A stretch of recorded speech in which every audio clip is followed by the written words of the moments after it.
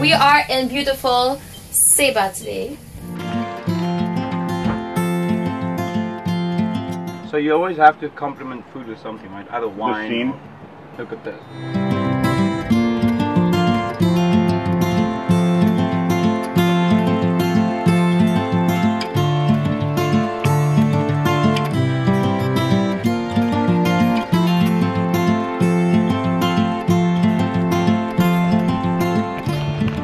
Things they warn you about about grabbing moorings here is if there's any kind of swell, your boat rocks around quite a bit and can sometimes chafe through the line. So since we might not be on our boat for a day or two, we kind of hurricane proofed our mooring by adding a whole bunch more chafe gear to it and doubling it up.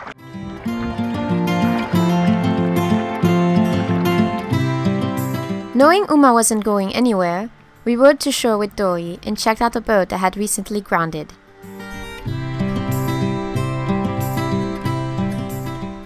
So this is an example of what happens when the seas aren't right in this bay. Crazy. That's insane, man. Insane. Turns out, a bad storm caused the line to chafe. The ship broke free from its mooring and drifted to shore.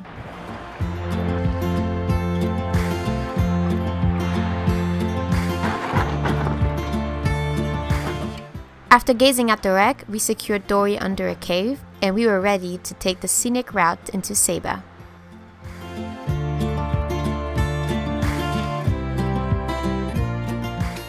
For the past couple hundred years since this whole um, island was colonized, these steps have been the only way in and out of the island. And um, as defense, the colonists used to put uh, a bunch of boulders up on the hill and held it back with uh, like timbers. And then when people would come and try to invade this beach behind me, they would just release the timbers and all the boulders would come crashing down on them. Since this was the only way to get on the island. Kika's trying to wash the sand off of her feet.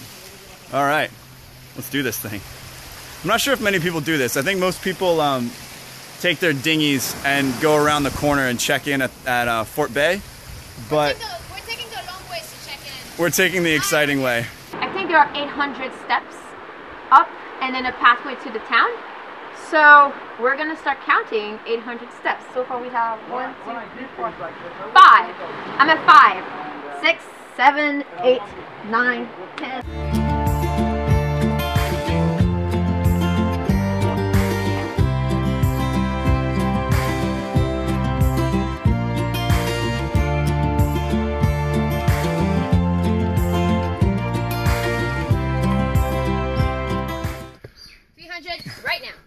Kika's still counting. Three hundred four. We'll see when we get to the top. It's really pretty so far though. It's absolutely beautiful. It's nice and cool. Mm-hmm. It's been raining, so it's nice and moist. So far, so good. We're at 352 steps. Some steps are steeper than others, some steps are longer than others. But I'm pretty sure it's going to be worth it when we get to the top.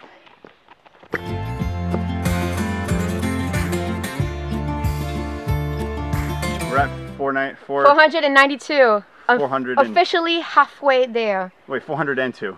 400. Not it, is it? 431. 432. We're supposed to be halfway now. Aww. 460 step. And then you get a And then you get a road.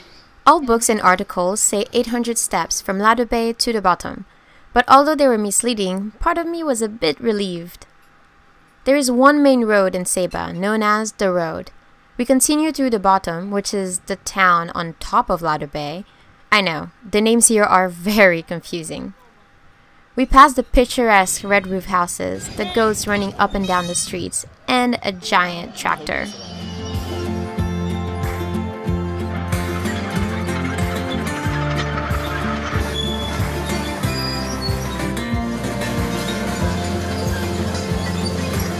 Well, that's a one-way road, and sometimes I guess we have to make way for the bacos to track through. That was a really tight fit. As we slowly started our descent to Fort Bay, someone stopped to offer us a ride down. flow on the back. So we just need to go check in. I'm not sure if you know where the customs office, is the customs office, or yeah. I, yeah, I could have got gas, so. all right. Is that the only gas station? Yeah.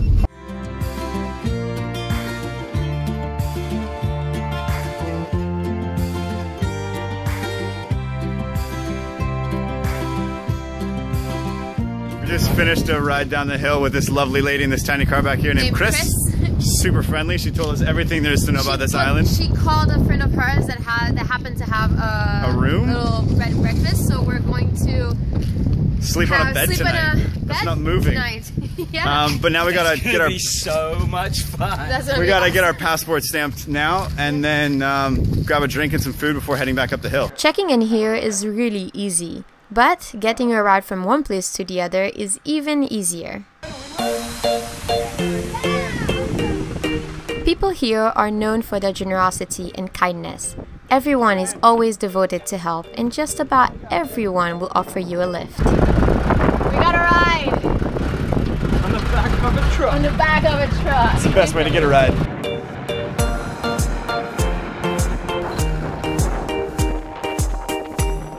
It's crazy to think that until the 1930s, Saban transported everything themselves, or with donkeys, to the island's crazy stairs and trails. When the project to build the road was presented, civil engineers called it impossible because of the island's extreme topography. But 25 years later, the road that could not be built was fully completed. And the best part, it was all built by hand without the use of any machinery.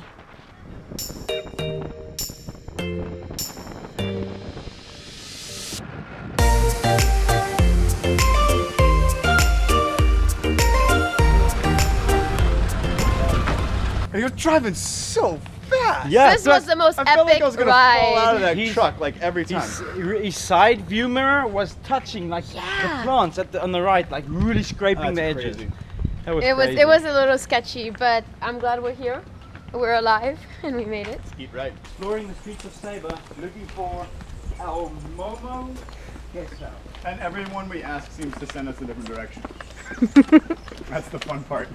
It's like literally everywhere we ask, someone gives us different directions to get there. So until one of them is right, we're just gonna keep wandering around. I'm gonna tell you this road Okay. It's two roads. and down this road on the left. Um, they got um, a bar and stuff on this side. Back up this hill, and then you go to your right. So you keep Yeah. following the road all the way up. Luckily, we got another ride with someone who knew exactly where we needed to go and dropped us off right in front of El Momo. Thank you.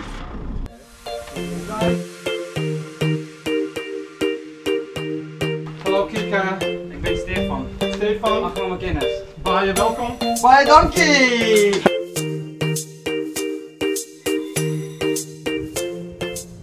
Alright, so we just made it to our beautiful little bed and breakfast, and this is our beautiful little room here. It's called the Turtle Cottage. Um, it's really, really cute, and you can't beat the view. Check this out. You can see all the way down to the ocean from here.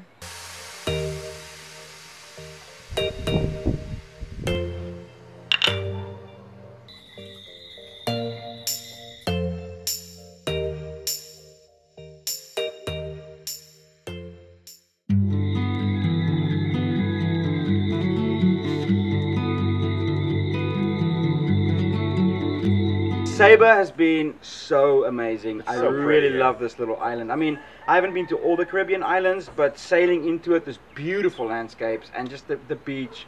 And, we And the got on people this- are so friendly. Everyone people are so amazing.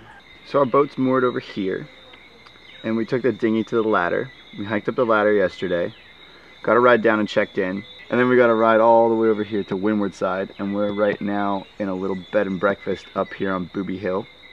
So um, we were planning on going up this mountain today, but it looks like it's still in a cloud, Yeah. and we'll probably be in a cloud all day. So we're gonna go on a shorter hike. I think we're gonna go try to find the sulfur mine mm-hmm. today. That sounds like fun. I feel like that's going to be a good idea. Okay, shall we go hiking? It's sun We now. should go hiking. Let's get All a right, on our let's day. go. Go. Peace.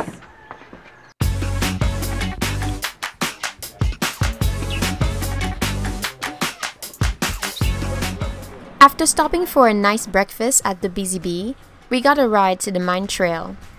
The best part is, we met Trisha, the driver of this tiny little red car, the night before, and when she heard that we were looking for a place to stay, she offered us to spend the night in one of her rental apartments. I'm telling you, people, Saba is magic.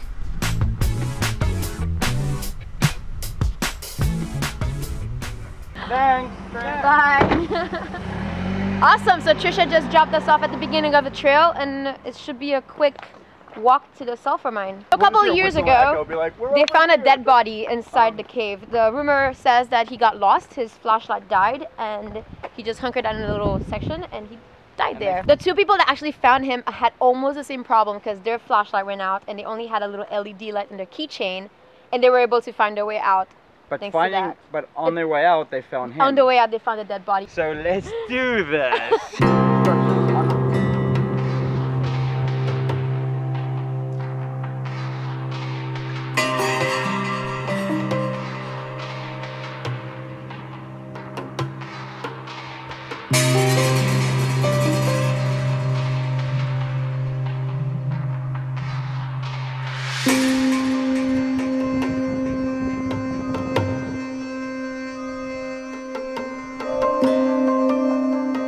sulfur mine, a bit of history. In 1887, the McNish Sulfing Mining Company began to work here, employing over a hundred Sabans. However, the island's steep terrains proved to be a difficult obstacle. Lacking an anchorage along the island's shoreline, the miners were forced to transport the sulfur along the cableway 100 meters above the sea to Green Island. Due to rough seas and a ring of coral reefs surrounding the island, ship had difficulty loading the sulfur. The mining venture ended within a year. Hmm. It was later restarted by the Saba Sulfur Company in 1905. But this was another short-lived effort. Remains of the old sulfur mines still exist today.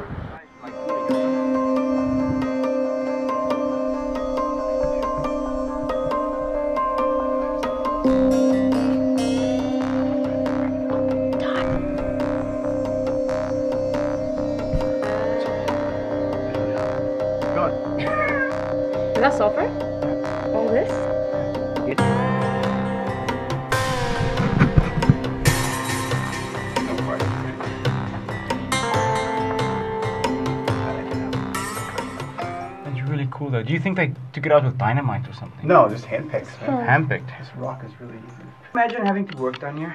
in this heat. All Look day. at this. Look up here, Kika. Look, they have like little little stone things carved in. They can climb up into that tunnel and keep mining sulfur. Yeah. Yeah, hunched over on your back, crawling through with little carts, pushing s- Can't imagine rocks and shit out of here. hot. Such a crap job.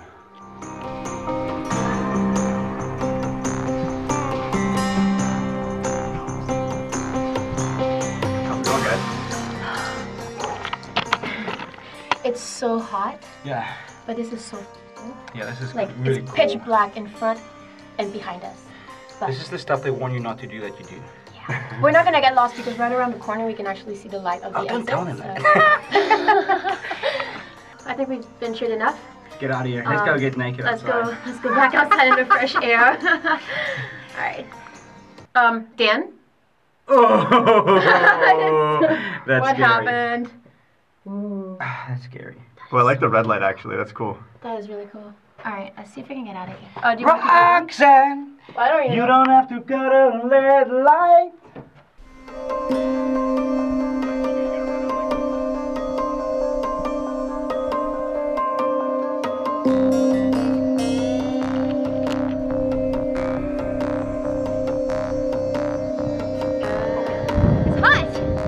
So there's safe and unsafe ways to explore mines and caves and stuff like that. We only poked our heads in a few hundred feet and we could still see the entrance. That's a pretty safe way to do it. You lose your light, you can still make your way back out.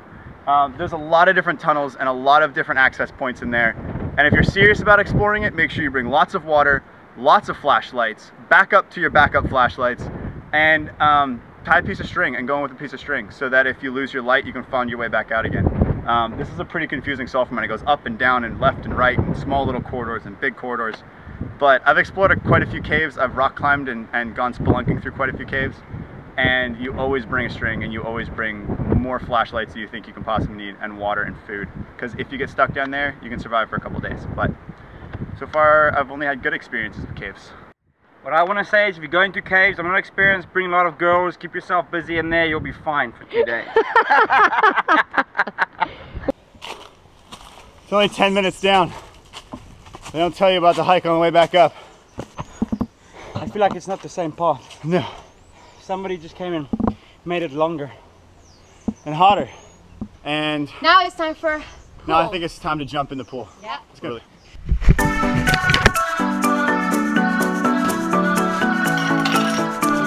I have like. so Stefan's last night in Saba we're gonna make it count Yeah.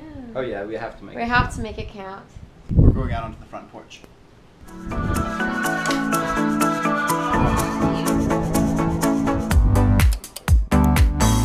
We really enjoyed having Stefan around for the past couple of days. As you can tell, he is a real character, always making us smile.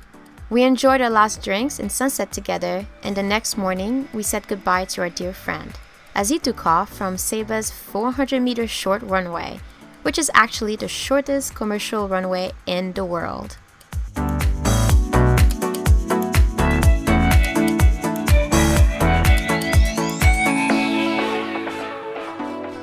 Thanks again for watching this step, and come back next week when we hike the second half of the island and have to get rescued trying to row back to our boat before we sail off to Eustatius.